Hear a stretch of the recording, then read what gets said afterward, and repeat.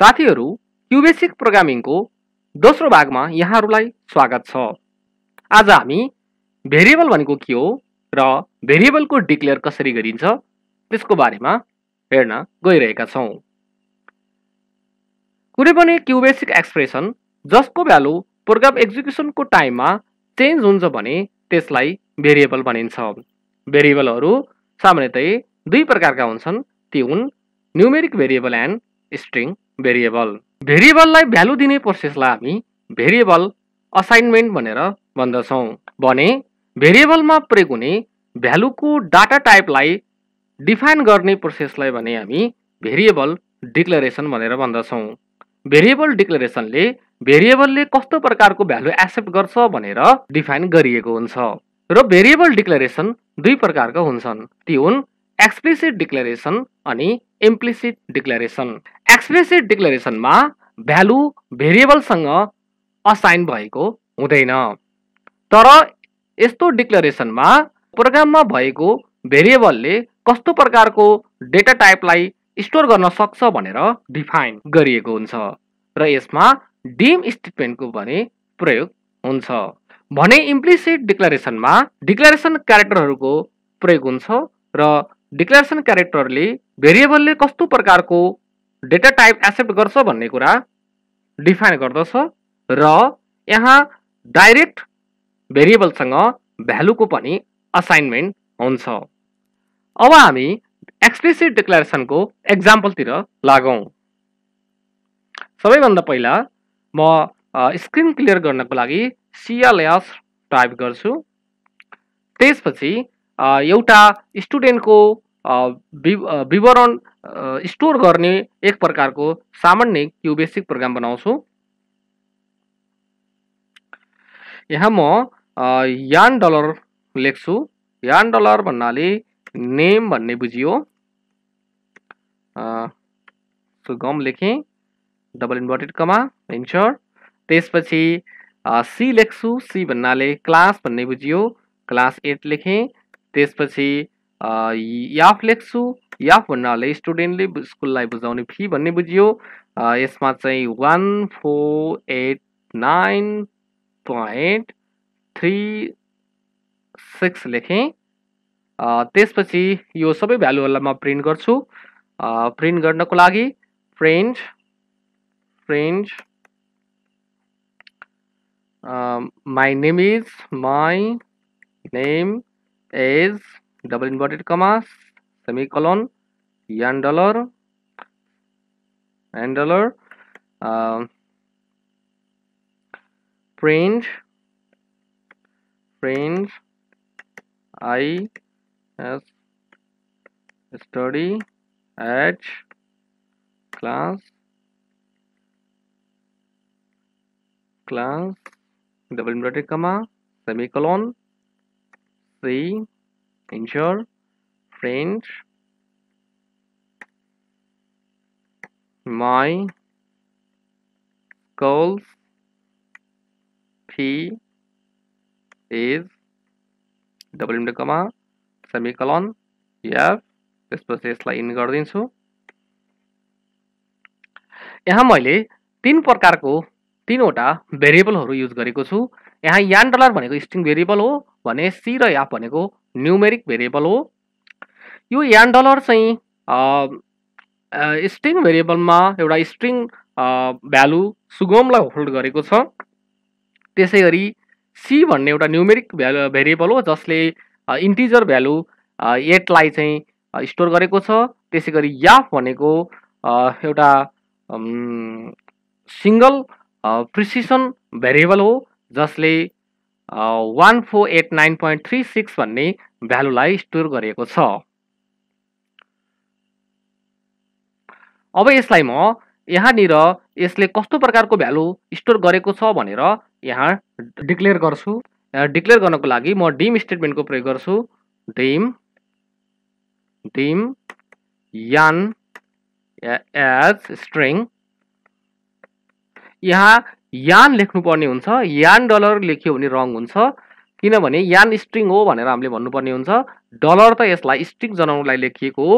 यहाँ स्ट्रिङ ल्याइराख्नु पर्दैन किनकि हामीले यहाँ ल्याङ्ग्वेजमै स्ट्रिङ लेखिसकेका छौँ। यदि हामीले यहाँ डलर लेख्यौँ भने यो रङ हुन्छ। एकचोटि लेखेर हेरौँ। डलर। यहाँ चाहिँ रङ देखाएको छ। Dim expected comma on current line भनेको छ। यो रङ भएको छ त्यसैले यो डलर राख्नु मिल्दैन।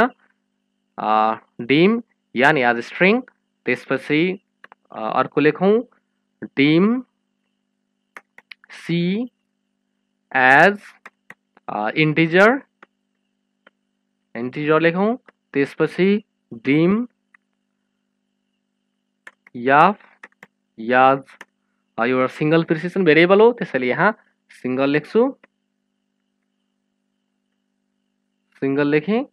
अब यस प्रोग्रामलाई म रन गरिदिन्छु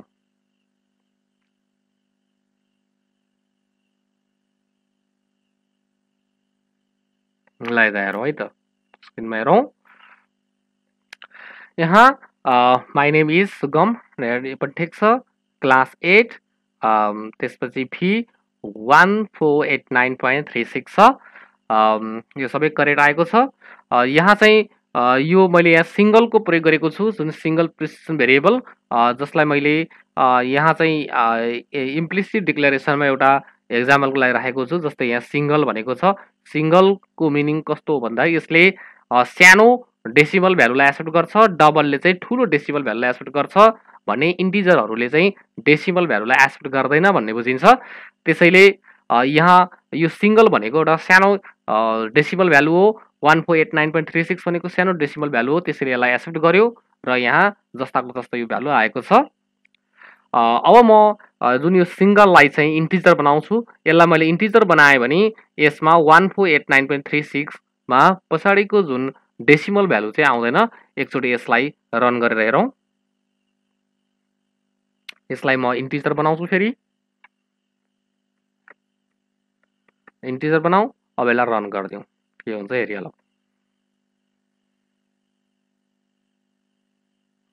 ल यसरी रन गर्दाखेरि के भएको छ भन्दा माथिको नेम पनि ठिक छ क्लास पनि ठिक छ फीमा भने one four eight nine point three सिक्समा one four eight nine point मात्रै आएको छ वान फोर एट नाइन मात्र आएको छ पछाडिको डेसिमल भ्यालु आएको छैन भनेपछि अब हामीले के बुझ्यो भन्दाखेरि याफ भनेको चाहिँ के हो? इन्टिजर हो। इन्टिजरमा डेसिमल भ्यालु हुँदैन। यसरी हामीले एक्सप्लिसिट डिक्लेरेसन गर्न सक्छौँ। अब हामी इम्प्लिसिट डिक्लेरेसनको एक्जाम्पलतिर जाउँ। अब यसलाई इम्प्लिसिट डिक्लेरेसन गर्नको लागि अब हामी यो माथिको डिम स्टेटमेन्टको प्रयोग गर्दैनौँ। यो अहिले म यसलाई इरेज गर्छु। अब यसलाई स्ट्रिङ जनाउनको लागि हामी यान डलर जुन लेख्यौँ यो नै यसको लागि उपयुक्त छ। यो यान डलर नै काफी छ किनकि स्ट्रिङको लागि के लेखिन्छ? इम्प्लिसिट डिक्लेरेसनमा डलर लेखिन्छ। नेम डलर एन डलर छ ठिक छ। अब सी भनेको चाहिँ के भन्दा इन्टिजर हो। इन्टिजरको लागि चाहिँ हामीले के लेख्नुपर्ने हुन्छ भन्दा तपाईँको पर्सेन्टेज लेख्नुपर्ने हुन्छ। है सानो खालको इन्टिजर भ्यालु भने पर्सेन्टेज ठुलो खालको हो भने एन्ड लेख्नुपर्ने हुन्छ एन्ड भनेको सरी एम यसलाई एन्ड भन्दैन एम्फर्सेन्ड भन्छ। एम्फर्सेन्ड भनेको लङ इन्टिजर पर्सेन्टेज भनेको इन्टिजर हो। यसमा म यो सानो इन्टिजर भ्यालु त्यसैले म यसमा पर्सेन्टेजको प्रयोग गर्छु। यसमा पर्सेन्टेज भ्यालुको प्रयोग गरेँ। त्यसै गरी याफमा चाहिँ याफ भनेको चाहिँ सिङ्गल प्रिसिसन भेरिएबल हो। त्यसैले सिङ्गल प्रिसिसनको लागि हामी एक्सक्लामेसन मार्क्सको प्रयोग गर्छौँ। एक्सक्लामेसनको साइनको प्रयोग गरेँ। र अब मेरो चाहिँ इम्प्लिसिट डिक्लेरेसन भएको छ। इम्प्लिसिट डिक्लेरेसनमा चाहिँ हामीले डाइरेक्ट भेरिएबलसँग भ्यालु असाइन गर्छौँ र भेरिएबलको पछाडि प्रयोग हुने जुन सिम्बल छ त्यो सिम्बलले चाहिँ यो भेरिएबलले कस्तो प्रकारको डेटा टाइपलाई स्टोर गर्न सक्छ भन्ने कुरा डिटर्माइन गर्छ। यो नै एक्सप्लिसिट डिक्लेरेसनको एक्जाम्पल हो। यसको माथिको यो डिम स्टेटमेन्टहरूलाई म इरेज गरिदिन्छु अब प्रोग्रामलाई रन गर्छु। यहाँ चाहिँ my name is Sugam I study at class zero आएको छ। यो जिरो आउनु भनेको यहाँ हाम्रो प्रोग्राममा कतै मिस्टेक भएको छ भन्ने बुझिएको छ। एकचोटि हामी यो एकचोटि प्रोग्रामलाई हेर्छौँ कहाँनिर मिस्टेक भएको छ। हाम्रो मिस्टेक चाहिँ यहाँ प्रिन्ट स्टेटमेन्टनिर भएको रहेछ। यहाँ क्लास सीलाई प्रिन्ट गर्दाखेरि क्लास इन्टिजर भएकोले यसमा पर्सेन्टेज राख्नुपर्ने हुन्छ। त्यस्तै गरी फी या प्रिन्ट गर्दा फी भनेको एउटा सिङ्गल प्रिसिसन भेरिएबल भएको कारणले गर्दा याकको पछाडि एक्सक्लामेसन पनि राख्नुपर्ने हुन्छ।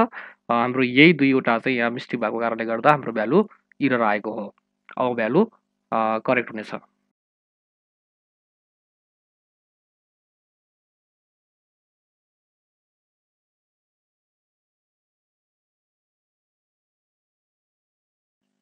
हो बल्ल भयो है यसको यता पनि पर्सेन्टेज लेख्नुपर्ने रहेछ। यहाँ मात्रै लेखेर भएन डिक्लेयर गर्दा मात्रै यसको जुन प्रिन्ट गर्दा पनि लेख्नुपर्ने रहेछ। यहाँ अलिकति इरर भएको थियो। अब यसमा माई नेम ए एज सुगम। यो स्ट्रिङ भ्यालु भयो यो सी पर्सेन्टेज भनेको इन्टिजर भयो त्यसपछि याप भनेको चाहिँ के भयो भन्दा यो चाहिँ सिङ्गल प्रिसिसन भेरिएबल भयो। अब यसलाई मैले फेरि यसमा याफमा पनि पर्सेन्टेज गरिदिएँ भने अहिलेको जस्तै चाहिँ यो डेसिमल भ्यालु हट्छ एकचोटि पनि गरेर हेरौँ। यसमा म पर्सेन्टेज गरिदिन्छु। यसलाई पर्सेन्टेज सिम्बल राख्ने बित्तिकै यो चाहिँ इन्टिजरमा चेन्ज हुन्छ।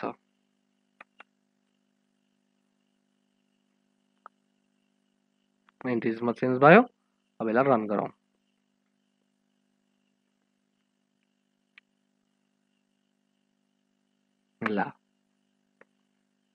यहाँ नेम जुन करेक्ट नै छ क्लास पनि ठिक छ फीमा भने चाहिँ पछाडिको डेसिमल भ्यालु आएको छैन किनकि हामीले यहाँ जुन फीलाई चाहिँ इन्टिजरको रूपमा लिएको छौँ यसरी चाहिँ हामी इम्प्लिसिक डिक्लेरेसन गर्न सक्छौँ अहिलेसम्म भिडियो हेरेर साथ दिनुभएकोमा यहाँलाई धन्यवाद हाम्रो अरू क्युबिक सम्बन्धी भिडियोहरू हेर्नको लागि हाम्रो च्यानललाई सब्सक्राइब गर्न नभुल्नुहोला